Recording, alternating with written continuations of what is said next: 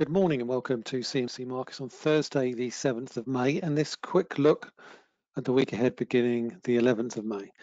And it's been a little bit of a choppy week for European and US stock markets. We got off to a little bit of a negative start in the aftermath of a big decline on Friday in the absence of European markets and um, European markets caught onto that with a bit of a negative vibe on Monday.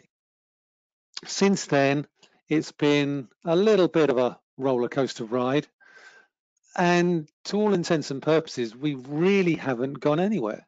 Um, I think it's been very, very difficult for investors to sort of deduce any sort of direction for markets in general um, simply because they're being pulled on the one hand of our optimism, the, the slow easing of lockdowns will prompt an upturn and ignite a fairly quickish recovery in economic activity, if not um, an improvement in the data.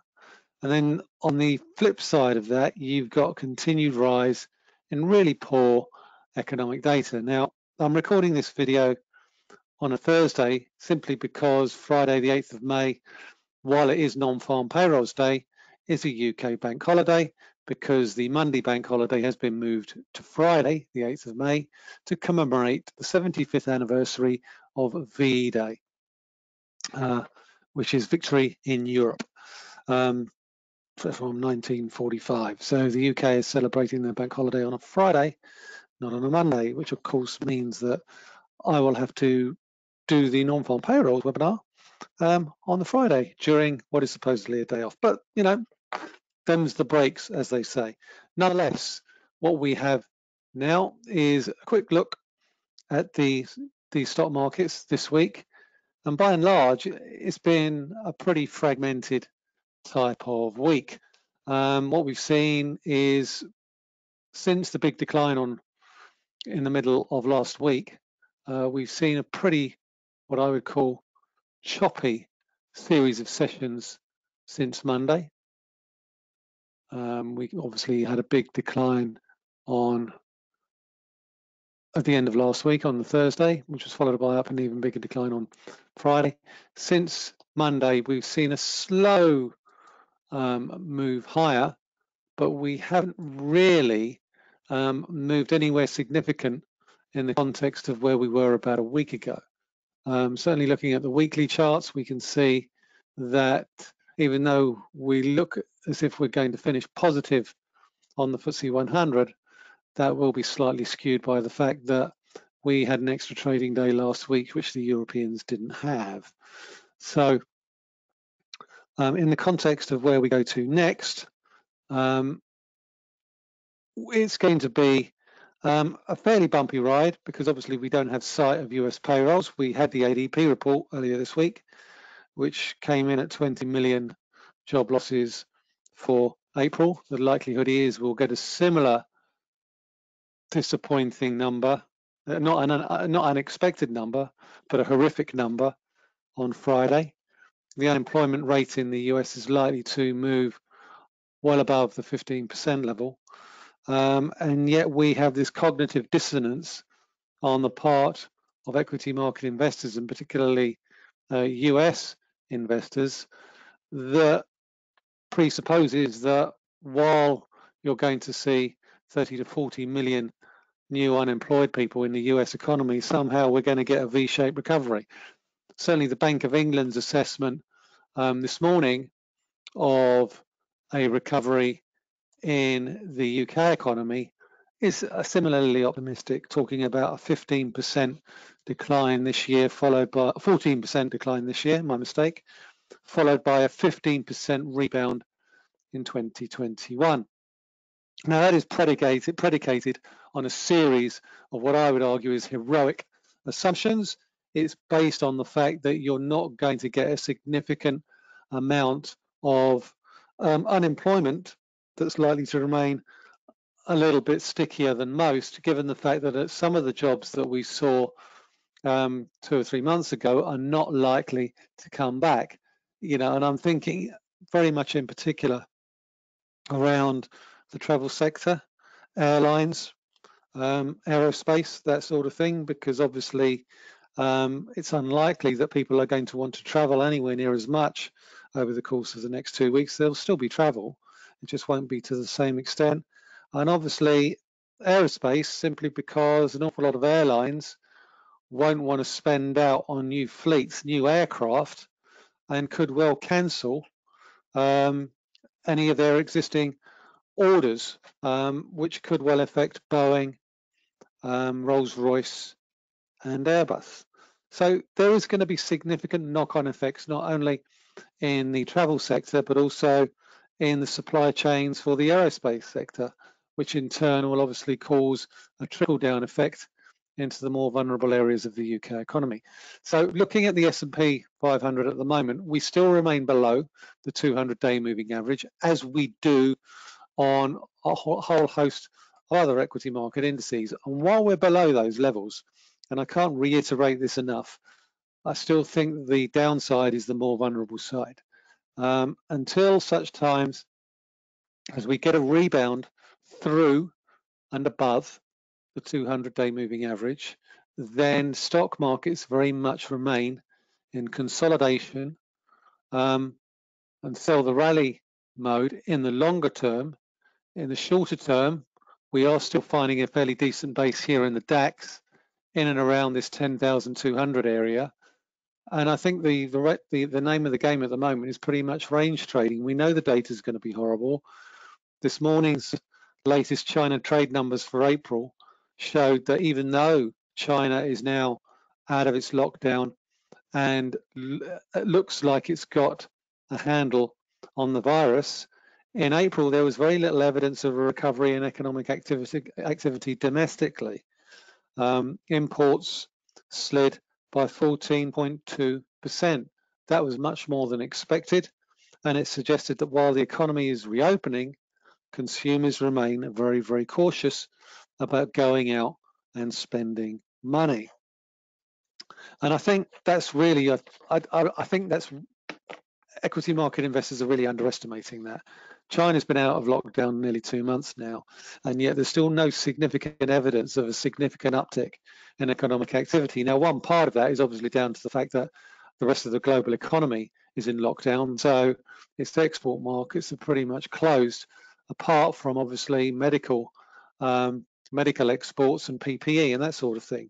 Um, so as we look ahead to next week, um, I still think the play is range trading in terms of equity markets. The FTSE 100, the German DAX, as we've seen here, um, as well as the S&P 500. Direction is still going to be very, very difficult to determine in the short to medium term. But I'm, I'm still of the opinion that while central banks remain very much towards the easing side, we still need to see a significant improvement in economic activity. We need to move beyond the lockdowns and move towards a rebound and a declining risk of a second outbreak. And unfortunately, I think we will get a second outbreak as we head into the winter season, if we're even if we're able to defer it for two or three months. So as we look ahead to next week, um, the numbers that I'm keeping a particular eye out for are first quarter GDP for the UK, 13th of May. Little doubt, I think, that the economy will contract in Q1 if recent numbers from France, Spain, and Italy are any guide. We've seen big contractions there 5.8% in France, 5.2% in Spain, and 5% in Italy. Um, and even though full lockdown only happened towards the end of March, um, I think a combination of events, including the effects of February flooding, rising uncertainty seen in the lead up to the lockdown, um, will have eaten in to UK economic output.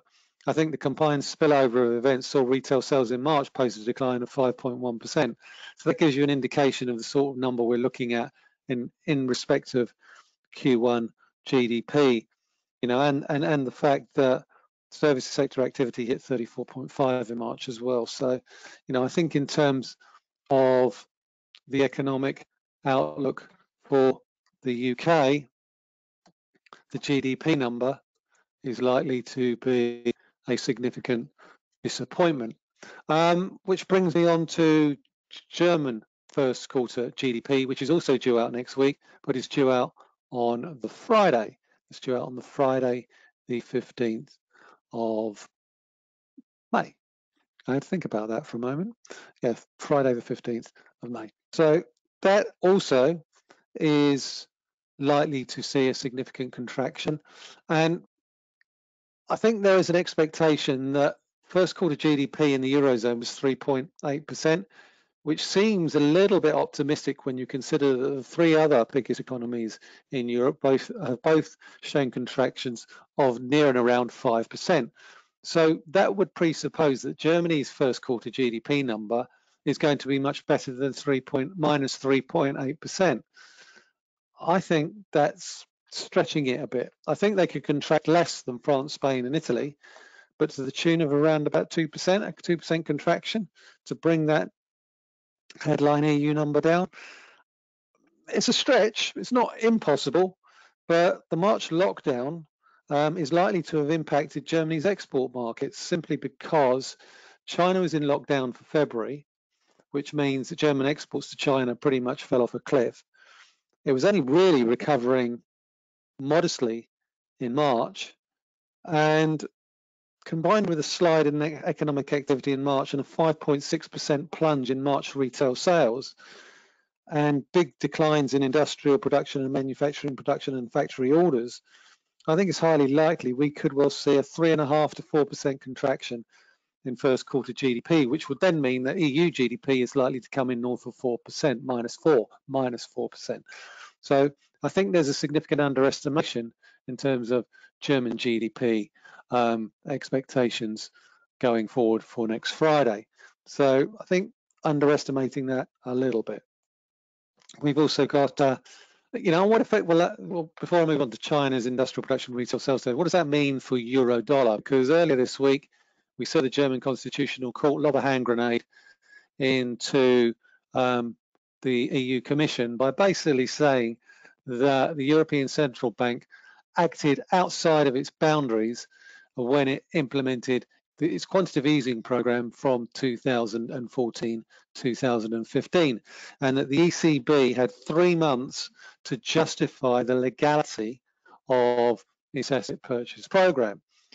Obviously the ruling only related to the asset purchase program that related that, that started in 2015 2015 it doesn't apply to the current program but if you extrapolate that forward the old program had significant higher limitations on the types of German, sorry, the types of European debt that the ECB could buy. For example, it could not buy Greek debt because Greek debt was classified as junk. As part of the new pandemic program, it can buy Greek debt. So it's got a much looser scope in terms of the assets that it can buy. So if the old asset purchase program is considered ultra vires and outside of the ECB's remit, then it's quite highly likely we'll see a legal challenge to the existing pandemic asset purchase program. So watch this space. Whatever happens, I think it's very likely that the euro dollar will continue to remain under pressure. Um, and this key level here, around about 107.20, is likely to be a key level going forward. Keep an eye on 107.60, 70 area I think it's still likely that we'll see um, a move down towards these these lows that we saw in March. Um, similar sort of um, outlook when it comes to cable. Let's look at the cable chart here before we move on to other things that I'm looking at for the coming week. It Seen a little bit of sterling weakness this week, not altogether surprising given that we've seen um, an awful lot more noise about trade talks, Brexit talks and what have you. We've broken below that 124 area that I highlighted um, to you um, at the end of last week, um, which suggests that we could well look to retest the lows of the recent range all the way down here at 122. Um, looking at this two hour chart here, you can probably draw a nice set of lines through here, but there's also these two moving averages, which are likely to act as a little bit of a top around about 124.30 in the short to medium term. If we can get back below, if we can get back above 124.30, I think this range trade is probably likely to continue to play out. The way I see it at the moment is there's an awful lot of what I would call choppy range trading going on, particularly if we look at this chart on a slightly longer time frame. You can see from the highs back in April, um, decent selling interest in and around 126 and a half. Um, and here again, above 126, but there's also decent buying interest anywhere near 122 and a half. I see no reason for us to break out of that range. Though what I would say is that the time is slowly approaching that the UK will need to consider, and the EU will need to consider about the Brexit deadline, which comes at the end of this year, and which in sometime in June, there may need to be discussions about an extension. But overall, the likelihood is that the Bank of England will do more quantitative easing before the end of the summer. The, the vote that we saw today um, saw two policymakers vote for an extra 100 billion pounds of QE. So it won't take much more economic weakness for the other seven members to also lean in that direction. So the current asset purchase program, 645 billion pound, that's likely to go up to 745 billion pounds of government and potentially corporate bonds as we look ahead to the summer. So, um, so that's cable. That's those are the key levels on cable. 124.30 on the upside. If we can get back above that, then I think it's likely that we could head back towards the highs that we saw um, towards uh, the end of April, beginning of May. Um, Euro sterling, still decent support uh, around about 86, 70, 80. That is proving to be a very, very solid base um, in the short to medium term. But what it what it does tell you is the fact that if we do break below that, there's probably going to be quite a number of stop losses building up below that key downside support. We can see it on this chart here very, very clearly. This is the daily chart that we're looking at. If I change that time frame ever so slightly to a four hour chart, it's probably an awful lot more notable when it comes to looking at the series of lows that we've got in and around that 86, 70, 80 area here. You can see it very much more clearly on this chart that I've got in front of you here. So we've got these lows here, here, here and here, and here, and here. I think I got a little bit carried away with my zoom function there, so I'll just wind it back out of touch so that it actually shows an awful lot clearer here. So here we go, all the way along here, big, big support. And it's notable that the rebounds are getting ever so slightly weaker, which suggests that at some point we will break that level and head towards 86.20 and 85.80. Um, so let's move on to Chinese industrial production and retail sales for April. They're due out on they're due out next Friday as well. Um, again, you know, we talked about this I think a few minutes ago. Um, the April numbers, April retail sales in particular, is probably what I'm more focused on than industrial production, simply because it's a good, it's a decent barometer of um, internal consumption, internal demand. Um, in February and March, we saw declines of 20.5% and 15.8% in retail sales. So we should see an improvement in April. I think we should see a decline, well, analysts estimates suggest we'll see a decline of 6%. Nonetheless, that's still pretty poor and shows that the Chinese consumer, um, who now makes up more than 50% of the Chinese economy, still remains very, very cautious in the aftermath of coronavirus and COVID-19. So economic activity is still expected to improve. Industrial production probably is going to move back into positive territory as exports improve, as we've seen in the most recent trade numbers. But rising unemployment could well act as an additional brake on a sharp rebound in economic activity.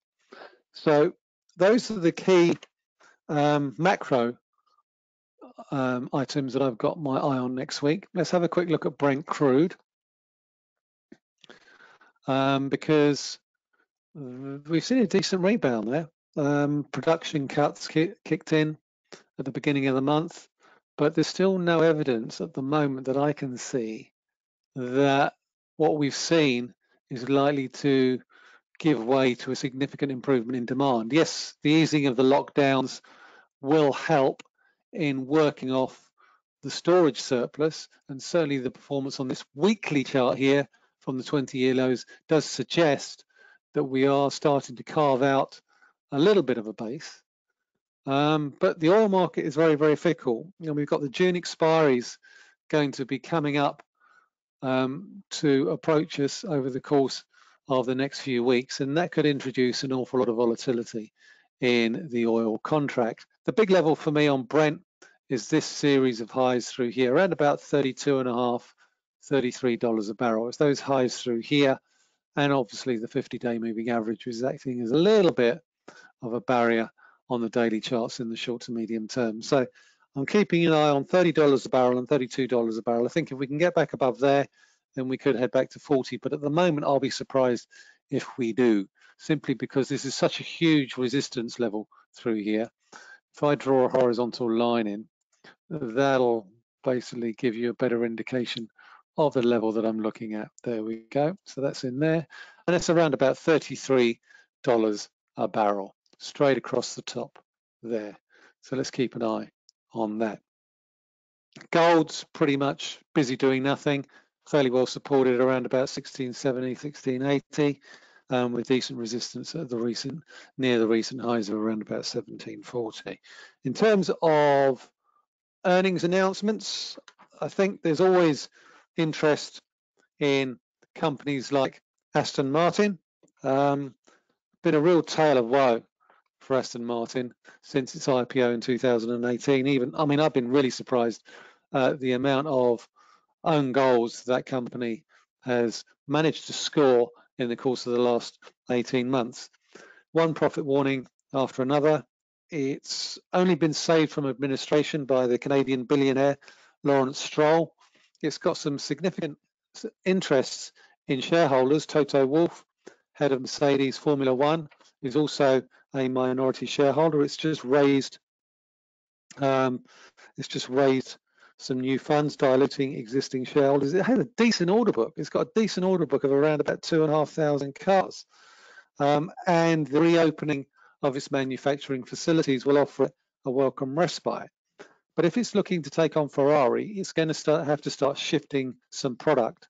And that means that China needs to reopen quickly. All of its big markets need to open quickly and it starts to it needs to start shifting um, quite a few of these DBX SUVs because that that is being touted to, as the solution to its cash flow problem. So looking at these lows here, um, I think it's going to be a very key bellwether in terms of not only its Q1 numbers, which are likely to be awful, but its outlook. What you know, how can the chairman basically sell a future that's going to give shareholders um, some of their money back after what has been a horrific um, last few months. We've also got Ted Baker, again another tale of woe there, full year numbers from them.